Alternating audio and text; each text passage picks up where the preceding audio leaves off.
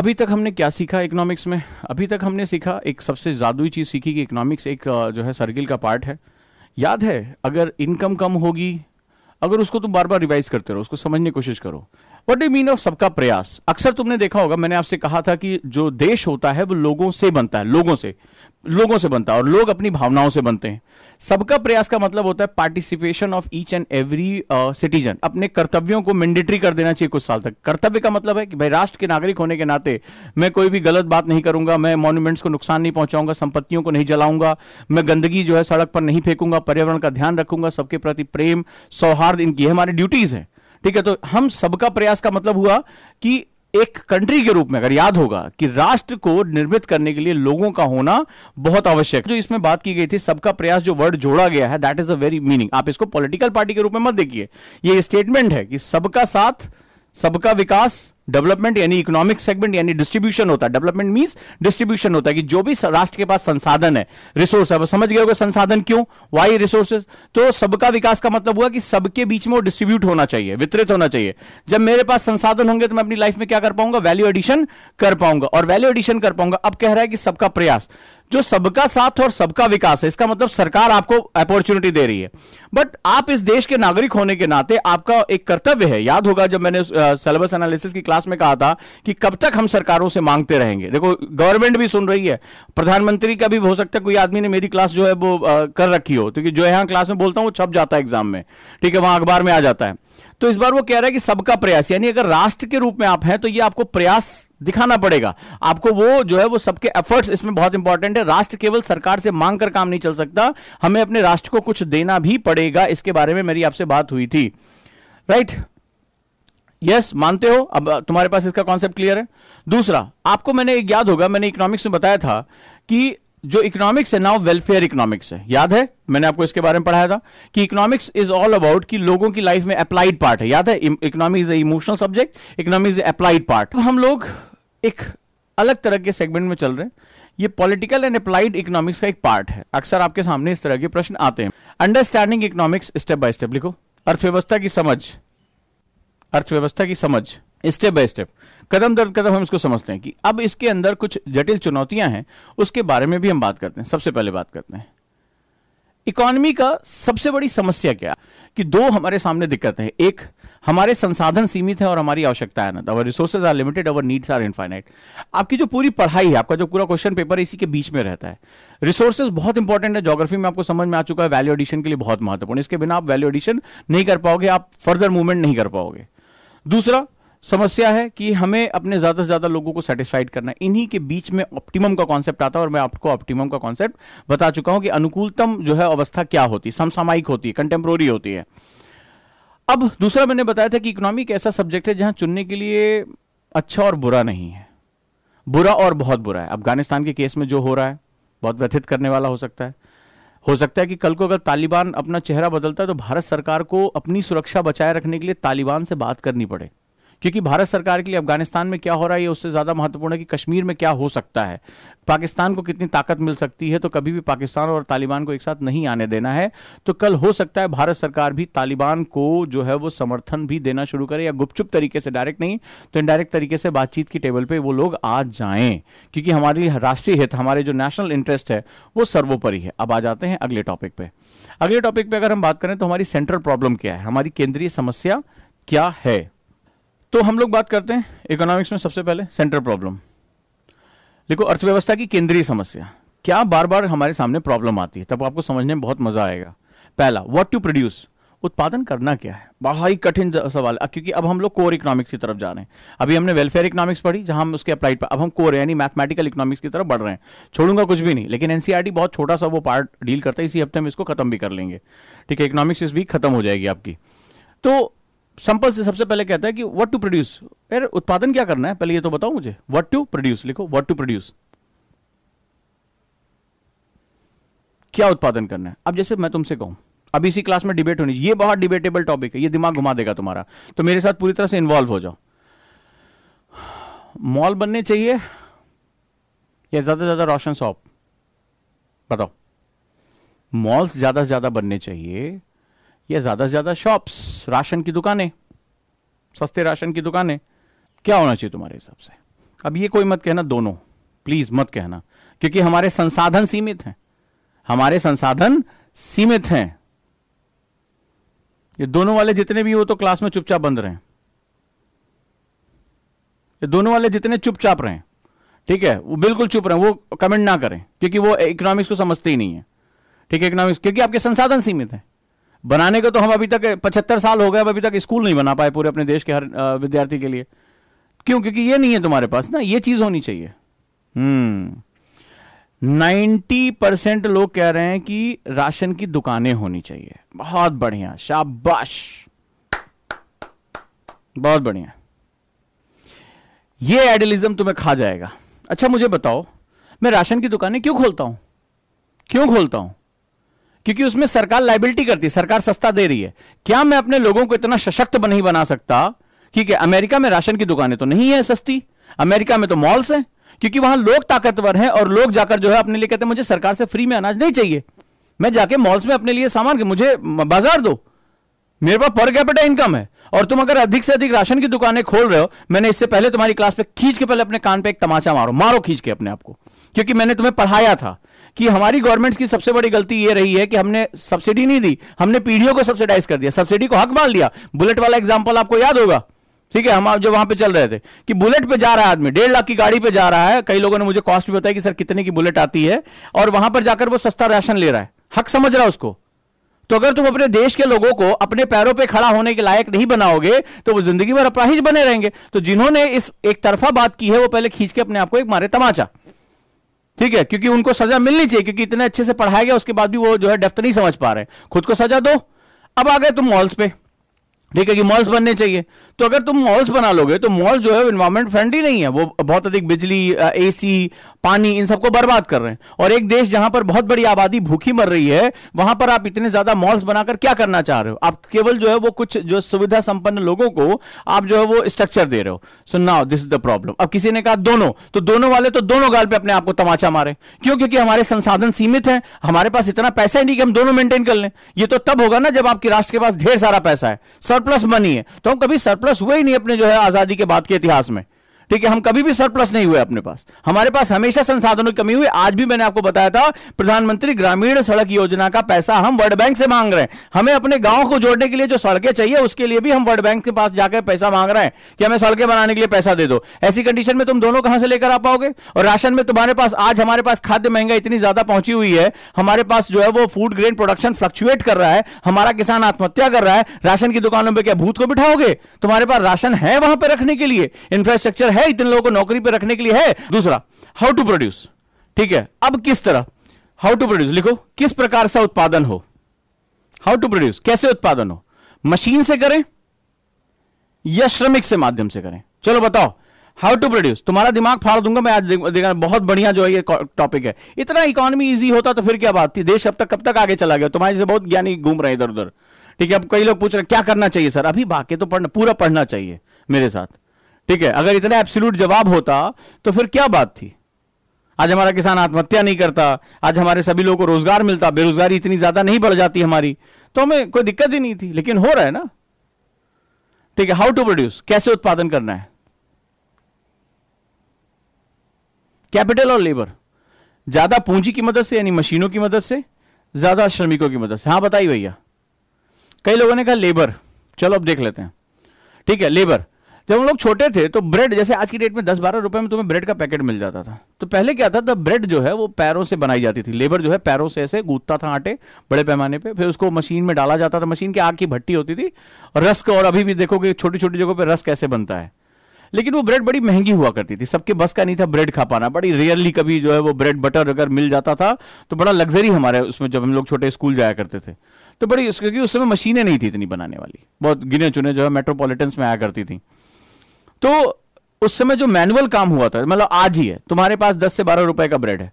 अब तुम लेबर से जब काम कराओगे, ठीक है लेबर से काम कराओगे तो कॉस्ट बढ़ जाएगी, क्योंकि एक तो बड़ी बात स्लो बनेगा, इतनी बड़ी आबादी, मान लो अभी तुम्हारे घर में जो आज दस रुपए की ब्रेड आ रही है, कल को तीस रुपए में आने लगे, क्योंकि कॉस्ट ज़्यादा लगेगी। अब एक आदमी पैरों से जो है गूथ रहा हाइजीन नहीं है उसमें, पहली बात, स्वच्छता नहीं है, गंदगी से बन रहा है, ठीक है, एक बार जो पिताजी ने बताया था कि ब्रेड नहीं खाना चाहिए ऐसे ऐसे बनता है, हमें गिन आ गई थी, हमने खाना ही बंद कर दिया था। तो अब मान लो वही तीस रुपए की ब्रेड मिल रही है, दस रुपए में आज मिल रही है। तो क्या आप में से कई लोग ब्रेड खाएँगे? क्योंकि तीन गुना कीमत ज़्यादा चुकानी पड़ रही है। तो अगर आप लेबर से प्रोडक्शन करते हो तो कॉस्ट बढ़ जाएगी और प्रोसेस स्लो हो जाएगा। क्योंकि मैनुअल लेबर मान लो कहीं स्ट्राइक हो गई, लोग आपस में अल्लाह करने।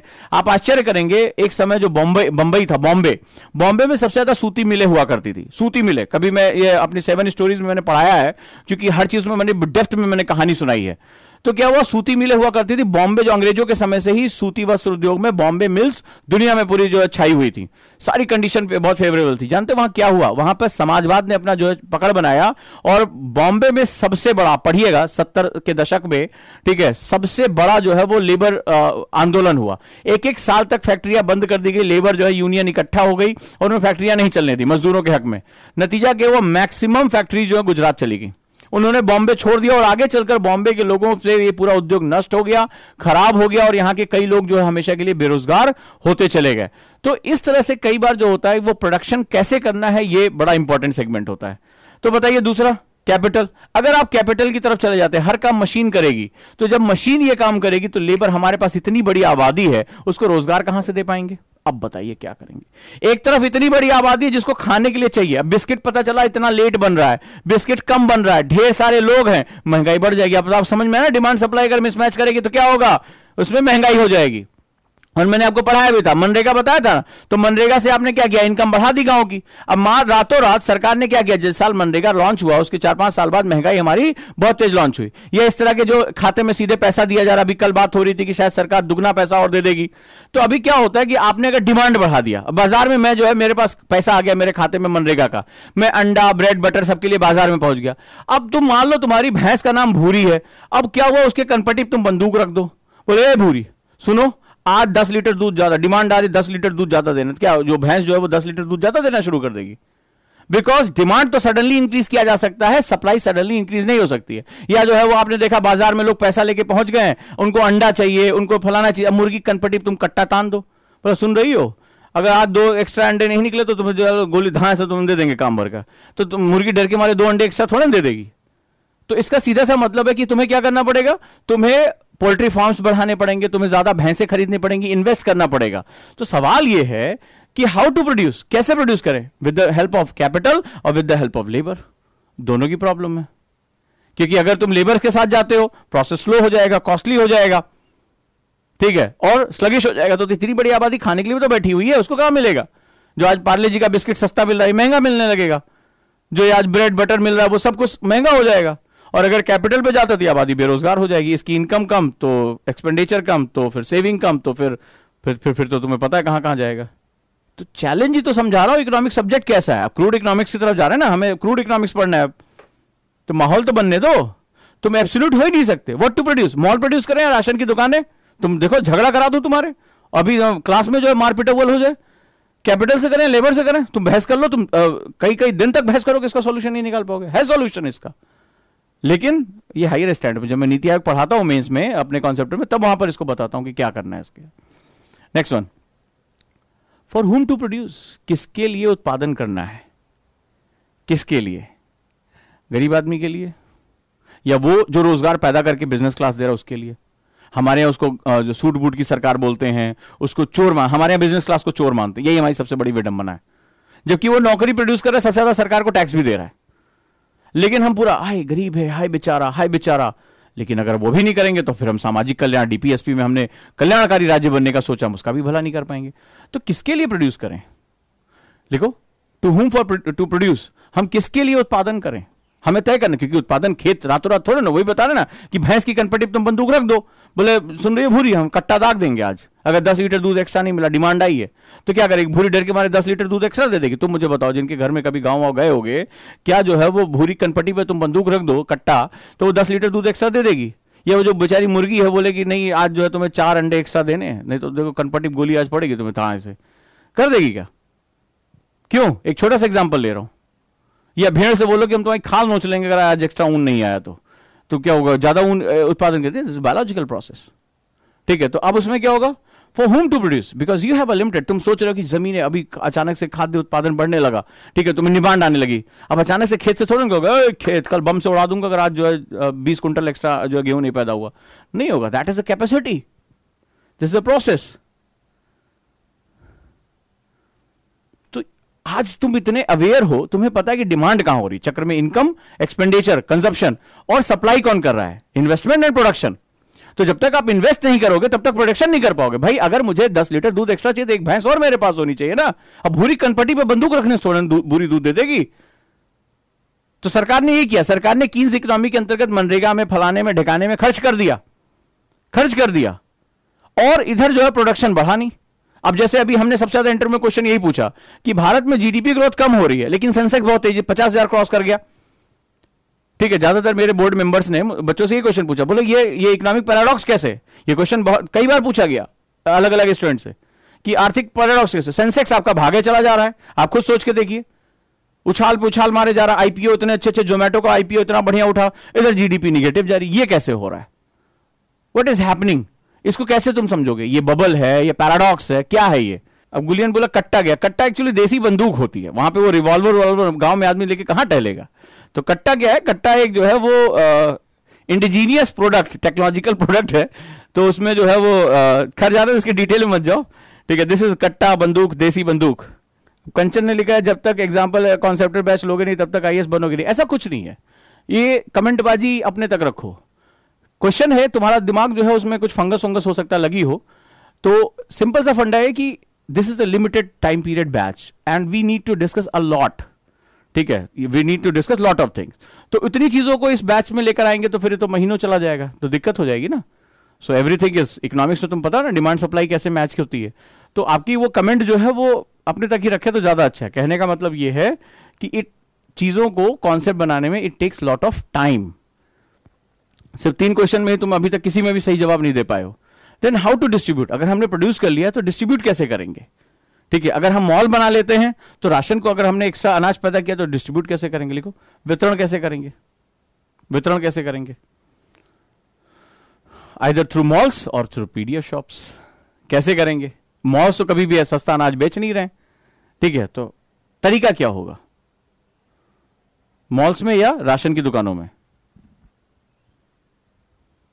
This is no certain answer this is a debatable question this is a complexity there is a no such answer कोई भी आंसर एब्सोल्यूट नहीं हो सकता। अगर मैं इसका आंसर दूँगा तो मेरा पहला स्टेटमेंट गलत हो जाएगा कि there is a no choice between good और बैड इन द इकोनॉमिक्स कि अर्थव्यवस्था में गुड और बैड नहीं होता। राइट right, अर्थव्यवस्था में गुड और बैड नहीं होता। There is a choice always choice between bad and worst जैसे आपने राशन शॉप बांट दी। अब पूरी इकोनॉमी कुछ साल बाद क्या हो जाएगी? सब कह अरे, सरकार दे रही हमें काम करने की क्या ज़रूरत है? ठीक है तो फिर क्या होगा? आपकी पूरा कैरेक्टर खराब हो जाएगा। भारत में ये देखने को मिलता है। यार, हम गरीब, गरीबी हमारे यहाँ स्टेटस है। गरीबी हमारे, ये नहीं कि सरकार से एक दो साल हमने मदद ली, अब हम मेहनत करें, आगे बढ़े, या सरकार हमें प्रेरित करे। ना ना, अरे, कौन अगली पार्टी, कौन चुनाव लड़ रही अच्छा तुम हमें कहा दोगे? जल्दी बताओ। बोला, हम तुम्हें फ्री अनाज देंगे फ्री बिजली फ्री पानी। देखो, आज जो है वो हमारे दिल्ली वाला जो है जो मुख्यमंत्री बोला कि, अरे देखो, हमसे प्रेरित होकर सभी सरकारें जो है पानी, अब राजनीति में देखा देखी, ये सबको जाके बोलता है हर जगह कि हम फ्री बिजली, फ्री पानी देंगे। और यहाँ जो है, हमारे देश में पच्चीस शहर ऐसे हो गए जो खुद दिल्ली खुद दिल्ली, दुनिया को बताएगा हम फ्री पानी देंगे और दिल्ली में अभी तक हर जगह पानी की जो है उपलब्ध नहीं करा पाया है। तो 25 शहर जो ड्राई सिटीज़ होने की तरफ़ बढ़ रहे हैं। आने वाला कोरोना से बड़ा डिजास्टर जो है, वो हमारा वाटर की कमी होगी। पर बांट रहे हैं और देखा देखी सब कुछ हो रहा है। केवल मास्क बना दोगे तो फिर जो तुम लोग कल्याण करना चाह रहे हो, जो हमारे गरीब लोग हैं, तुम उनको दमिन कर दोगे। तो बड़ा मुश्किल सवाल होता है यहाँ पे। ठीक है, यही तो तुम्हें समझाने की कोशिश कर रहा हूँ। चलो, अब आगे आ जाते हैं। टाइप्स ऑफ़ इकोनॉमिक्स लिखो। पीडीएस का मतलब होता है public distribution system that means जन वितरण प्रणाली, जिसे राशन की दुकानें कहते हैं, ration shop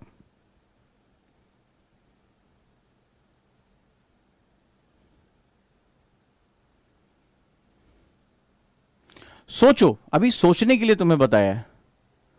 types of economics लिखो, अर्थव्यवस्था के प्रकार। टाइप्स ऑफ़ इकोनॉमिक्स लिखो। पहला जो प्रकार हम देखते हैं on the basis of the development ठीक है, लिखो। विकास के आधार पर हम अर्थव्यवस्था को कैसे परिभाषित करते हैं। अब तुम्हें कुछ कुछ जवाब तुम्हें मिलने शुरू होंगे यहाँ पे। On the basis of development विकास के आधार पर। पहला इकोनॉमी पहली होती है डेवलपिंग लिखो। विकासशील, जैसे भारत है। डेवलपिंग इकोनॉमी एग्ज़ाम में आया था इस बार, ध्यान से प्री में। अगर आपने पेपर पढ़ा होगा प्री का तो आपको मिल जाएगा इसमें। तो विकासशील अर्थव्यवस्था किसे कहते हैं? लो पर कैपिटा इनकम यहाँ प्रति व्यक्ति आय कम होती है। लिखो प्रति व्यक्ति आय कम होती है। बट पोटेंशियल टू डेवलप परंतु विकास करने की संभावना होती है, इसे भारत के बारे में कहा जाता है। परंतु विकास करने की संभावना, प्रबल संभावना होती है।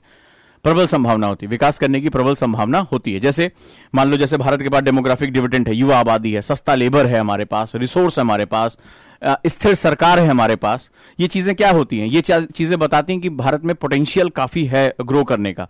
और वो ये था कि हमें पोटेंशियल जीडीपी भी कहा जाता है। What is the mean of potential GDP अगर आपने इस बार का क्वेश्चन देखा होगा तो पोटेंशियल जीडीपी कहा जाता है। यानी संभाव्य जो है वो सकल घरेलू उत्पाद। तो इसका मतलब होता है कि अर्थव्यवस्था आज हमें भले चाहे छोटी दिखाई पड़ी लेकिन भारत में जैसे भारत के लिए जनरली पोटेंशियल जीडीपी यूज़ किया जाता है। कि हमारी जीडीपी के ग्रो करने की बहुत प्रबल संभावना है। हमारे पास रिसोर्स है हमारे पास स्थिर सरकार है हमारे पास जो है वो आ, बहुत बड़ी आबादी है। युवा हमारे लोग अंग्रेज़ी जानते हैं। हमारे यहाँ आईटी टेक्नोलॉजी बहुत ज़्यादा जो है पेनेट्रेट कर रही है। ज़बरदस्त तरीके से अंदर गाँव गाँव भी पहुँच रही है, भारत सरकार सबको डिजिटली कनेक्ट करना चाहती है। तो ये बता रहा है कि जब ये चीज़ें थ्रेशोल्ड पे पहुंचेंगी, जब एक क्रांतिक बिंदु पे पहुंचेंगी तो हमारे पास बहुत तेज़ी से आगे बढ़ने की संभावना बनी रहेगी। इंफ्रास्ट्रक्चर हम डेवलप कर रहे हैं, सड़कें बना रहे हैं, बिजली घर बना रहे हैं। तो आगे चलकर जो है, ये सब जब एक साथ आएगा तो हमारी जो है जीडीपी बहुत तेज ग्रो करेगी। तो हम लोग इसको बोलते हैं potential to development for example India Bharat के लिए। हाँ ये मेंस का क्वेश्चन था किशन ने। संभाव्य जीडीपी चाहो तो लिख लो, संभाव्य जीडीपी किसे कहते हैं? What is what do you mean by potential GDP सकल घरेलू उत्पाद, संभाव्य। सकल घरेलू उत्पाद किसे कहते हैं? कर लोगे? संभाव्य। तो संभावना में हमने क्या पढ़ा? मैंने ज्योग्राफी में आपको पढ़ाया कि भारत संसाधन रिच कंट्री है।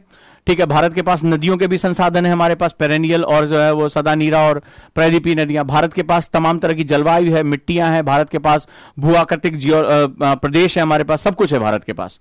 तो ये हो गया दूसरा जनांकी लाभांश। मैंने आपको पढ़ाया था कि हम जो है सबसे यूथ आबादी में कन्वर्ट हो चुके हैं। हमारे पास बूढ़ों की बहुत कम जो है वो संख्या है। हमारी आबादी के ऊपर डिपेंडेंसी रेशियो हमारा बहुत कम है। ठीक है, आश्रिता अनुपात हमारा कम है। समझ रहे मैं क्या क्या बातें कर रहा हूँ। ठीक है, स्थिर सरकार है हमारे पास विश्व के साथ जुड़ने का। हमारा जो है, हमारे पास समुद्री सीमा है, यानी पूरे विश्व के साथ व्यापार कर सकते हैं। सात हज़ार दो सौ किलोमीटर की हमारे पास कोस्ट लाइन बाउंड्री है। और हम जो है वो एक ऐसे देश के रूप में हैं जहाँ हमारे पास राष्ट्र का कोई धर्म नहीं है। आज पॉलिटी भी शुरू होगी आपकी रात में आठ बजे तो वहाँ पर हमारा कोई धर्म नहीं है। मतलब हम धर्म निरपेक्ष हैं, हम पंथ निरपेक्ष हम सेकुलर कंट्री हैं।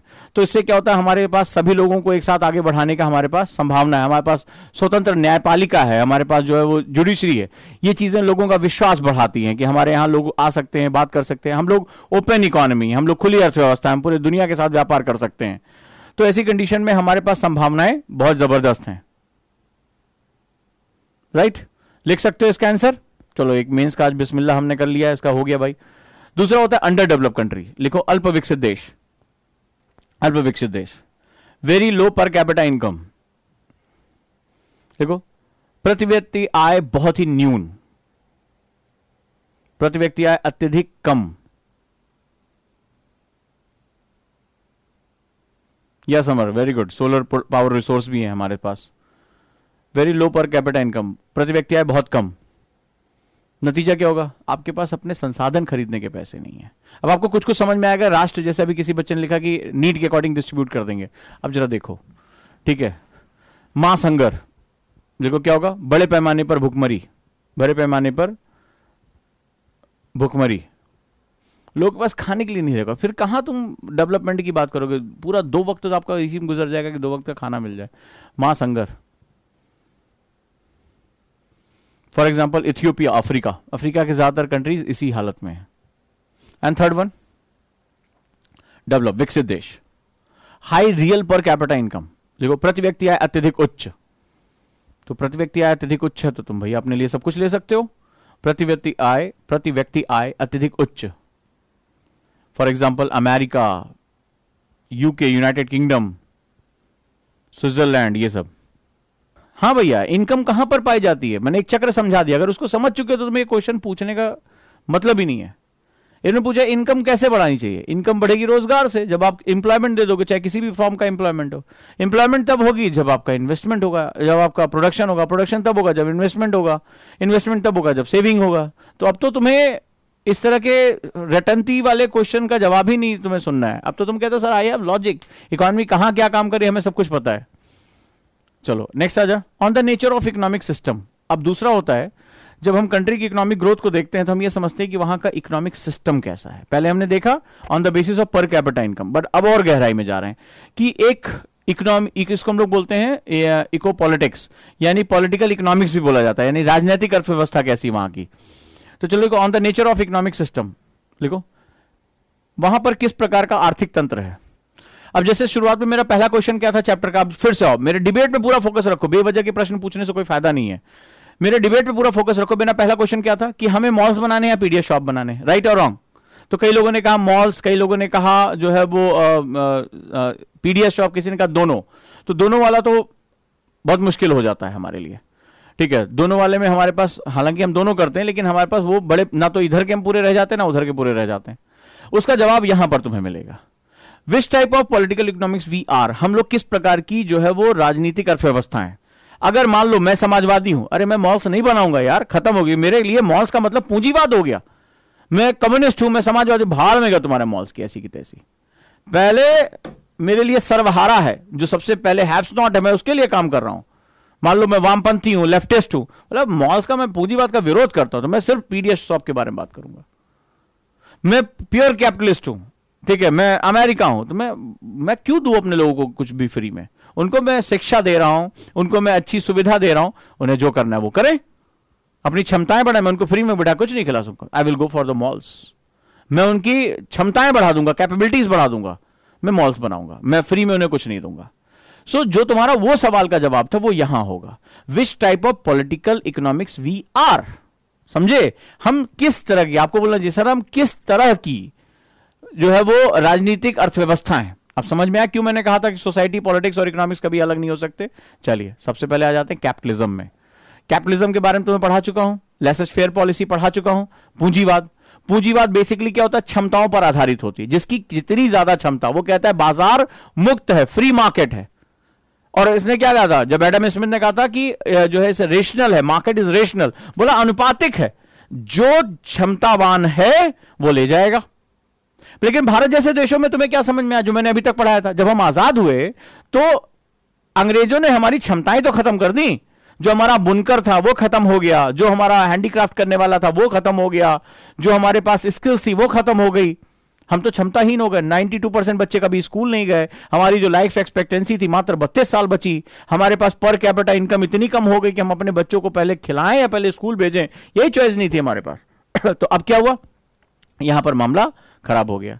तो कैपिटलिज्म हमेशा याद रखिएगा, क्षमताओं के काम करती है। जितनी ज़्यादा कैपेबिलिटीज हैं, आप उतनी ज़्यादा लाभ कमा सकते हैं। बट सवाल है कि क्या सभी की कैपेबिलिटीज बराबर होती हैं? क्या आज भारत के सभी बच्चों को एक समान स्कूली शिक्षा मिल रही है? जो अमीर का बच्चा है, जो समृद्ध है, वो अपने बच्चे को कॉन्वेंट स्कूल में भेज रहा है। जब आईएस की तैयारी करने वो पहुँचता है, फर्राटेदार अंग्रेज़ी बोलता है, अंग्रेज़ी के न्यूज़पेपर पढ़ रहा है सब कुछ, और तुम डिक्शनरी लेकर हिंदू में खोज रहे अरे यार, इसका मतलब क्या होता है? What is the meaning of sophisticated तो तुम जो है वो पीछे एस एस एस एस ढूंढ रहे हो तो सोफेस्टिकेटेड ढूंढ रहे हो। उतनी देर में न्यूज़ पेपर पढ़ के निकल भी जाता है। So there is a difference in the capabilities तो जब कैपेबिलिटीज में, यानी कि क्षमताओं में अंतर है तो असमानता को जन्म देगा। एक होगा शासक वर्ग और एक होगा श्रमिक वर्ग हो जाएगा तैयार। ठीक है तो एक हमेशा शासन करेगा, उसके पास कैपेबिलिटीज होंगी। अब सरकारी स्कूल में शिक्षा का अंतर और कॉन्वेंट स्कूल में शिक्षा के अंतर, बहुत बड़ा अंतर है। तो तुम सोचोगे सर, मैं गया हूँ, तुम तो खाली पढ़ रहे होगे, मैं गया हूँ सेमिनार लेने के लिए। वहाँ के बच्चों में जब उत्साह भरा तो उन्होंने सोचना शुरू नहीं तो उनको मैक्सिमम नाइन्टी परसेंट बच्चों ने कहा कि, सर, हमारे घर में बोला जाता है, लड़कियों में बोला जाता है कि वो होम साइंस कर लेना ठीक है, शादी कर देंगे और लड़के से बोला जाता है, कोई ग्रुप डी का एग्ज़ाम निकल जाए, बहुत बड़ी बात है. नेक्स्ट सोशलिज्म समाजवाद। All decision are taken by the government to overcome central problem मैंने आपको बताया, इसमें योजना आयोग होता लिखो। समाजवाद। All decision are taken by the government to overcome central problem यहाँ पर संपूर्ण आर्थिक निर्णय सरकार द्वारा लिए जाते हैं। ज़्यादातर निर्णय सरकार द्वारा लिए जाते हैं, जिससे केंद्रीय समस्याओं का समाधान हो सके। और तीसरा जो हम लोगों ने अपनाया था मिक्स इकोनॉमी ना गवर्नमेंट और प्राइवेट सेक्टर दोनों काम करते हैं। सरकार और निजी क्षेत्र दोनों काम करते हैं। गवर्नमेंट प्लस प्राइवेट सेक्टर यानी सरकार और निजी क्षेत्र दोनों जो है, वो यहाँ पर कार्य करते हैं। ठीक है? तो इसको मिश्रित अर्थव्यवस्था कहते हैं। एक क्वेश्चन लिखो। तुम्हारे लिए क्वेश्चन है। एक डिबेट है। अक्सर मैं बच्चों से पूछता हूँ। तो जिन्होंने हमारे ऊपर शासन किया, वो पूंजीवादी थे। जो कैपिटलिस्ट थे, यानी हमारे पास पूरी संभावना थी कि हम कैपिटलिज्म को अपना लें। 190 सालों तक और हमारे समाज में, हमारे सरकारों में बहुत से लोग थे जो उनसे बहुत प्रभावित थे। दूसरा, नेहरू, जेपी नारायण, जो जय, जयप्रकाश नारायण और ये सब लोग जो थे, वो समाजवादी सोच के लोग थे। मेनन हो गया, राजगोपालचारी हो गए, ये सारे जो हैं वो समाजवादी सोच के थे। तो इंडिया सोशलिस्ट इकोनॉमी की तरफ़ भी जा सकता था। But why India opted mix economy question लिखो why India opted mix economy Bharat ने मिश्रित अर्थव्यवस्था क्यों अपनाया? भारत ने मिक्स अर्थव्यवस्था मिश्रित अर्थव्यवस्था क्यों अपनाया? Why India opted mix economy ठीक है, हमारे पास पहला चांस था। We can go for the capitalist economy 190 सालों तक वो सिस्टम हमारे यहाँ चला। We can go for the socialist economy Nehru बहुत ज़्यादा रोमांस में थे अपने सोवियत के साथ। हम उसके साथ भी जा सकते थे। But why we opted mix economy हमने मिश्रित अर्थव्यवस्था क्यों अपनाया? नहीं तो अगर कैपेबल नहीं तो प्राइवेट सेक्टर भी तो था। प्राइवेट सेक्टर निजी क्षेत्र और सरकारी क्षेत्र दोनों थे। ठीक है, लिखिए कि इसका आंसर क्या हो सकता है। ये क्वेश्चन आया हुआ है। इंटरव्यू में भी क्वेश्चन पूछा गया है। और वर्तमान में भी इसको हम कंपेयर कर सकते हैं। आज के समय में जो गवर्नमेंट की पॉलिसी उसके साथ भी हम कंपेयर कर सकते हैं। So this is the factor ठीक है तो ये हमारा सेकेंड पार्ट रहा। तो जब हम इकोनॉमी की प्रॉब्लम्स को समझते हैं तो हम ये देखते हैं कि हमें किस तरह से उसको देखना है। नज़रिया क्या है हमारे पास। तो ये जो सेगमेंट है what to produce how to produce and for to whom to produce ये हमेशा समय के साथ बदलता रहता है। वहाँ का समाज कैसा है? याद रखिएगा इकोनॉमी जो होती है वो समाज और राजनीति दोनों का प्रतिबिंब होती है। बड़ी खूबसूरत लाइन है ये। इस समय हमारे समाज की जरूरतें क्या है? इस समय हमारी पॉलिटिक्स किस तरह की है? पॉलिटिकल सोच किस तरह की? इसीलिए मैंने आपको बहुत ही यहाँ से क्वेश्चन आपके दिमाग में आया है। कोई भी चीज़ ना तो सही होगी और ना गलत होती है। इकोनॉमिक्स में कोई भी चीज़ सही और गलत नहीं होती है। सिर्फ़ वो चीज़ समसामयिक होती है। जो इतिहास में आज से तीस साल पहले सही था, वो आज गलत है। ठीक है? जो आज सही है, हो सकता है इतिहास उसको गलत साबित कर दे। So it it's a very changeable scenario economics इसीलिए बहुत कंटेम्प्रोरी यानी समसामयिक हो जाता है। आपको इसी नज़रिए से सोचना और देखना है। क्लियर है? क्या हमें इसके नुकसान भी रहे? मिक्स इकोनॉमी के? क्या दोहरा चेहरा काम का होता है? इतिहास में अगर तुम देखोगे क्लाइव ने बंगाल में द्वैत शासन रखा था। और उसकी वजह से बंगाल बर्बाद हो गया। जो समृद्धि के ऊंचाइयों पे था, वो बर्बाद हो गया। तो क्या डुअल नेचर जो होता है वो इकोनॉमी में नुकसान पहुंचाता है? ये भी हमें सोचना पड़ेगा। तुम्हें मेडिकल साइंस के बारे में अगर थोड़ी भी नॉलेज होगी, जो अच्छी दवाएँ होती, बड़ी कड़वी होती हैं, ठीक है? अगर मैं तुमसे प्यार से पुचकार पुचकार के बातें करता रहूँ तो मैं डांटू नहीं, और फैक्ट पढ़ाते रहो। बेटा, देखिए बेटा, बढ़िया से पढ़िए। चलिए बेटा, लिखिए। जीडीपी की इसमें कॉस्ट कितनी है? इसमें कितना बेटा इतने लोग हैं? आपने फैक्ट पढ़ लिया। फैक्ट तो पढ़ लिया, लेकिन जब आप एग्ज़ाम में गए और आपको जो है यूपीएससी ने ऐसी तैसी कर दी, फिर क्या करोगे? तो आज कड़वी लग जाने दो, ठीक है? मैंने आपको एक बार शायद ध्यान नहीं दिया आपने। मैंने कहा था, तीन लोगों की बातों को ज़िंदगी में आशीर्वाद समझना, इनकी डांट को आशीर्वाद समझना। एक माता पिता ठीक है? दूसरा गुरु, और तीसरा सन्यासी, ठीक है? ये सन्यासी या तुम्हारा कोई भी जो तुम्हें रास्ता दिखाता हो। इन तीनों की डांट को भी आशीर्वाद समझना। अगर ये तीनों डांट भी देते हैं तो ये आशीर्वाद के रूप में लेना कि हाँ ये मेरे भले के लिए, क्योंकि ये कभी भी तुम्हारा अहित नहीं चाहेंगे। ठीक है, सन्यासी मतलब वो नहीं जो इधर उधर घूम रहा है, वो किसी भी धर्म का हो। सन्यासी का मतलब वो जिसने अपनी ज़िंदगी में दूसरों की भलाई के लिए अपना जीवन समर्पित कर दिया हो। तो टीचर माता पिता और सन्यासी, ये तीन अगर तुम्हें डांटते भी हैं कस के तो कभी भी इनका बुरा मत मानना। ठीक है, ये समझना, ये आशीर्वाद है तुम्हारे लिए। बाकी तुम्हारी मर्ज़ी, अंदर तुम जैसे होगे, संसार को तुम वैसे ही देखोगे।